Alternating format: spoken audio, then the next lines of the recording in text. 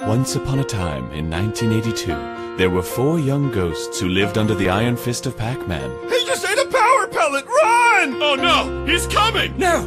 Not today, my friends! Inky, what are you doing? I'm finally taking my stand, Blinky. Hear my words. I want to be free! Free from this maze, I am a ghost! Why can't I just fly away? The cruel yellow monster is not what he seems. These people pay a quarter, but it costs us our dreams, oh God!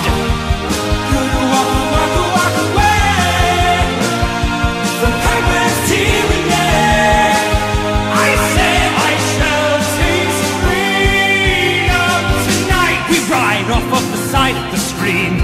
Okay, it looks like we're back at the first side of the screen. That's fine. At least there are delicious cherries to eat.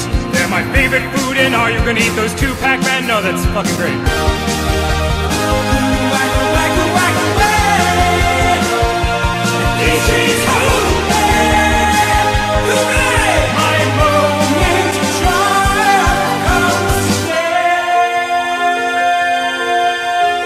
My god, Inky, watch out!